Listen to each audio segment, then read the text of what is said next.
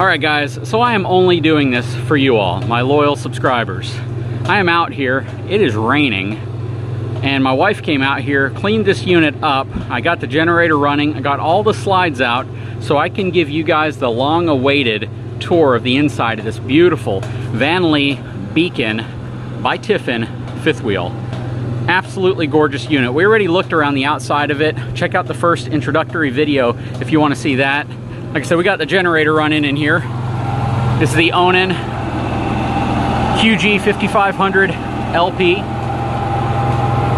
Very quiet generator. It's already got a surge guard up there, protect from surges, which is also really nice. It's connected into both the generator as well as the shore power connection. But we're gonna take a quick walk around this absolutely gorgeous, gorgeous fifth wheel.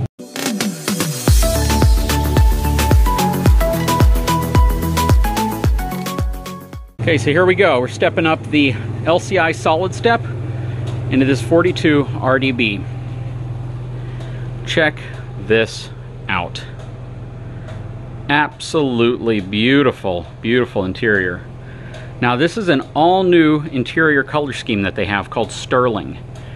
There's LED accent lights everywhere. They did the front in their white linen which you might have seen in the video I did in Elkhart, and then they did this kitchen portion in Sterling, which is gorgeous. And I can't even tell if the camera picks it up very well, but it is absolutely beautiful. Coming over here, you have your Whirlpool refrigerator. I believe it's a Whirlpool. I can't really tell because they put these wooden panels on the door, which absolutely dresses it up, and it covers up the brand. It's either a Whirlpool or an LG, but I am not so sure.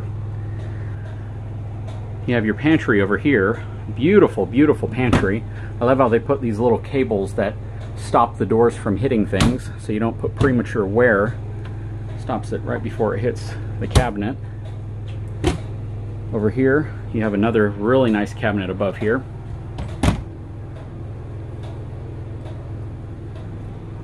Coffee station down here plenty of depth for a Keurig.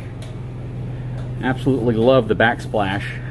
I love this Spyder control panel. This is really cool. You get to things really quickly.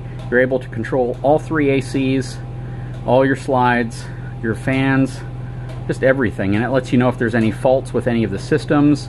I mean, it just provides a ton of information. You can turn all the lights off or on with one button or independently. And then around the side here, you have additional controls to do the same thing to turn lights on and off. Beautiful Insignia four burner residential style stove and oven. Absolutely gorgeous. Check out the size of some of these cabinets. Plenty of space in these things for just about anything you want. Lots of drawers for silverware and utensils. Nice cabinets up top, as well as a Furrion full-size residential microwave more LED accent lighting. Check out this awesome farm style sink. Very nice stainless steel basin. Large cabinets underneath. Plenty of space for a garbage can under there. You got more drawers here. Has a self-closing drawers. All the drawers. Power outlet right there. Beautiful, beautiful solid surface countertops here as well as back here and this is kind of like a second coffee station or you could put a TV here you could put just about anything here more cabinets here, again with little cables to prevent them from hitting the slides. A lot more storage down below. Over here, a lot of you folks who like to go out and drink wine, you have a beautiful, beautiful wine fridge and cooler right there. More drawers beneath. This kitchen is loaded with storage. Absolutely loaded with storage. This has to be probably the most beautiful kitchen I've seen in a fifth wheel. Guys, challenge me. If you think you've seen one that looks nicer, please let me know. Nice dinette. It has two standard chairs and then two folding chairs. We just got those all unpacked. Beautiful valances. Plus the day-night roller shades to black out the interior. I love how they use the soft material right here. And I also like the high gloss finish to all the woodwork. Gives it a much more upscale finished approach.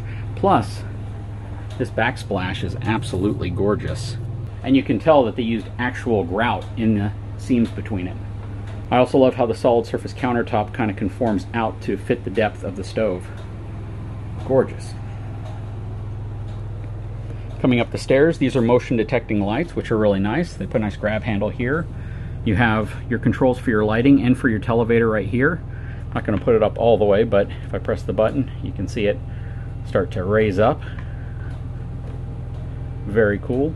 This unit does have dual pane windows. Again, just take a look at all of the trim work, the valances. Absolutely gorgeous. Something they do that's very different than the rest of the industry is they use a steel backer plate behind the board that these are all attached to. So it would be very, very difficult for one of these to be removed or to fall off during transit or any of that. They're just built exceptionally well, and it's all beautiful hardwood. Very high-end Class A style. Coming around this way, got a lot of storage next to this wide view fireplace. Again, check that out. You have a cable that stops it from hitting one of the sofas. Entertainment system over here, panoramic fireplace, huge window back here. This would be great if you're backed up to a lake or just some really nice scenery behind you. Wonderful sconce lights. I really like the look of the sconces on each side, very modern. And they make the interior of this just feel and look that much more luxurious. Very, very nice size sofas. Now these might look like love seats, but they're actually wider than love seats. You could fit three, maybe even four people in each one very, very easily.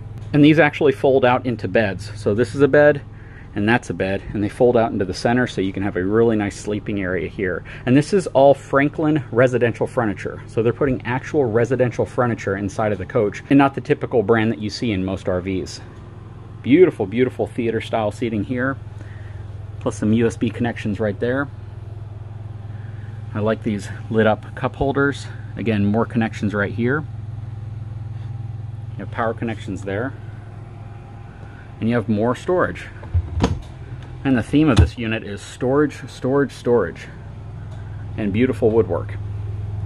But just check that out absolutely stunning. If you want to know why you might not see some things on this unit, like independent suspension or a solid fiberglass roof, you really don't have the need to upgrade to some of those components if you don't feel that they're worth it, and you can reinvest some of that in the area that you're probably spending most of your time, which is the interior.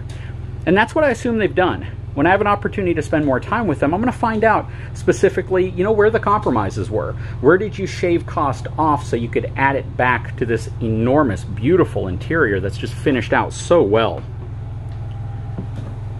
Now let's work our way towards the back. First, we're going to step into the lavatory. Absolutely gorgeous. I love how they've been able to give you a lot of countertop space here while still giving you the storage you're looking for, more storage, and a beautiful one-piece shower with this really interesting fold-up seat. Now this is interesting to me. I'm pressing down on it. I, you know, it feels a little springy. I haven't really heard of any complaints or seen any pictures of these things torn off the wall, but that kind of scares me and it kind of worries me because, you know, the way that these are framed and you want to mitigate any areas that could be prone to excessive stress. This looks beautiful, but perhaps just the standard seat area that's kind of molded in might be a little bit more longer lasting, more reliable in the long run. I don't know. Give me your opinion. Have you seen one of those fail before? I know a lot of brands are starting to put that in their higher end units. Porcelain foot flush toilet, along with rinser hose, bidet, whatever you want to call it. And then you have more controls over here very well lit. Very nice bathroom. The tiles on the floor, they're linoleum or vinyl tiles, but they're hand laid, which is also really nice. So if you get really close to them, you can actually feel the grout in between them. There's still a little bit of sawdust in here. It's definitely got a good shaking down on its way to Texas. And my wife came in and tried to clean up as much as she could. This is your Whisper Quiet air conditioning system. So you have your return air ducts there, and then you have your blower registers right here, which blow the air out. And they've designed it so you pull more air in, and it kind of squeezes the air out so you get more pressure, which is pretty innovative. Here's your bedroom, king size bed. I love how they've lowered the height too. So I believe they said it's four inches lower than typical mattresses, which sit up about this high. And this is perfect because my wife is shorter and getting on the bed can be difficult for people who might be shorter. And this bed is just the perfect height to get on. If you're taller, it's just that much easier as well. You have your controls right here as well, plus USB outlets on the side. And I like how these little nightstands don't protrude over the bed. It's enough room for you to set your phone, plus to charge it. You have power right here. And I absolutely love the chair railing board that is right here. This is just beautiful to me. I don't know what the official name is for it, but it's absolutely gorgeous. Let's take a look inside of this closet up front. Finished off as you'd expect. Nice area for shoes. Not a huge closet. It's reasonable size. I mean, I've seen some that you can walk into, but they obviously repurposed some of that space to give you room to get onto the bed. Not as much on that side, but it's not a huge closet, but it's definitely a very functional closet. And what really makes this room stand out is the fact that you have what's behind this door. And that's your Splendide washer and dryer stackable units. Very, very nice. Plus, plenty of room in front of it. This is absolutely an enormous area between the end of the bed and the dresser. So you got plenty of room. Again, all self-closing drawers. Really nice little table area right here so you can put your wallet, purse, whatever you want right here. And you have plenty of room to do your laundry in front. Plus, again, huge windows. Then on this side, you have a nice large TV. Looks to be 36 inches, maybe a 40 inch TV actually. I'm actually not sure anymore. A 42 inch TV back in the day was huge and it looked like an enormous TV when you were talking about flat panel TVs. Now, you know, this could be a 50 inch TV for all I know. Actually, I'm kidding. This is probably, I'm guessing 38 to 40 inch TV. So yeah, I'd like to know, what do you guys think about this unit? I think it is absolutely beautiful. I mean, just take another look. Beautiful, beautiful fifth wheel interior. You know, I told you guys I would look for areas of concern, and I so far haven't really found any. The control panel here I thought was going to be more difficult to work. I did have to go through a few steps to get everything powered up. I had to turn the breakers on on the generator. I had to let it run for a while before the power management station kicked on, and then all of a sudden I got the correct lighting in here. I saw the refrigerator light come on, and I was able to power the whole unit up. But overall, this is absolutely gorgeous. And another thing they've done that's nice is they've moved the heat registers out of the center part of the floor. So you don't see any there, and I believe they actually put the heat register yeah, under the island right here. Another really nice thing is that the ceiling material right here is soft touch. It's really nice, something you might expect to see in a high-end Class A. But overall, you can tell that that's what they're going for. They're going for that high-end Class A interior feel, but honestly at a much more affordable price and something you can tow behind, you know, a dually pickup truck. Anyways, guys, I'd love your feedback. This is a unit we're going to have for six months. We're going to be able to take this out to all sorts of different places, test it out, see how things work, see what type of challenges we have, and they want your feedback. They want to know what you like about it, some of the challenges that you foresee. The one challenge I have, let me tell you right off the bat, right here, when this slide is in, this refrigerator is right here. You can't open that door. And this refrigerator butts up right here. You can't open that door. I would like the island to either shift that way, maybe two inches, or slightly shorter here, notch this out, maybe move the drawers to some other configuration, or reverse this, right? Have this, well, this has to be large enough, and I think that would still be big enough to put this out here and notch it in here so you can access the refrigerator with all the slides in. Because right now, with all the slides in, you can access this area right here. You can access everything up front, including the bathroom and the bedroom. So if you needed to pull over in a Walmart parking lot or you just needed to spend the night in the unit and you didn't have room to put the slides up, you can do that. And I showed in a previous video, with this slide partially extended, you can make your way all the way up to the front, which means you could enjoy a movie even with all the slides in, except this one, and this one just out slightly. Anyways, guys, I sure hope you enjoyed this video. Now is a perfect time. Take a moment, please subscribe to my channel. Turn on notifications by hitting that little bell. Give me a thumbs up because that's really important to my channel so I know that you enjoy the content I'm producing. And we're going to spend a lot of time in this and we're going to show you all the great features of it and any challenges we run into.